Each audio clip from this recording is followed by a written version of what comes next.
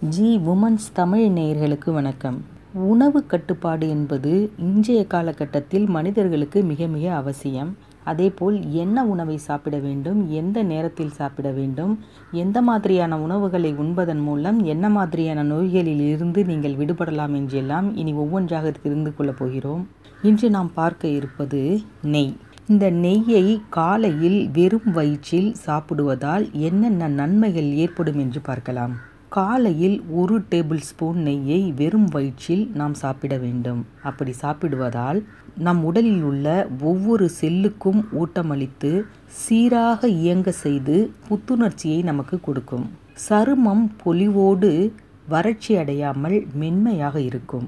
ஆணாக இருந்தாலும் சரி பெண்ணாக இருந்தாலும் சரி உங்கள் சருமம் மிக மென்மையாக மாறிவிடும். மூட்டு இணைப்புகள் மற்றும் திசுக்கள் தொய்வு அடைவதை தடுத்து மூட்டு வலி பிரச்சனைகளை குறைக்கும். மூளையில் உள்ள நரம்புகள் சரியாக தூண்டப்பட்டு நினைவாற்றல் மற்றும் புரிந்து கொள்ளும் திறன் அதிகரிக்கும். உடலின் மெட்டபாலிசம் தூண்டப்பட்டு உடல் எடை குறையும்.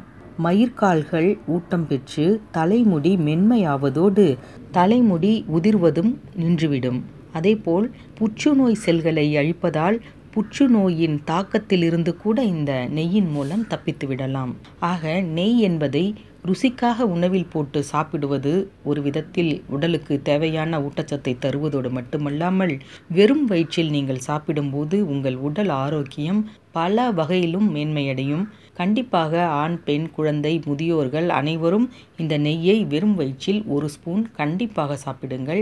உடலை புத்துணர்ச்சியோடு வைத்துக் கொள்ளுங்கள். இதுபோல் இன்னும் பல அரிய தகவல்களை நீங்கள் ஜி உமன்ஸ் தமிழ் சேனலில் தொடர்ந்து பார்க்கலாம்.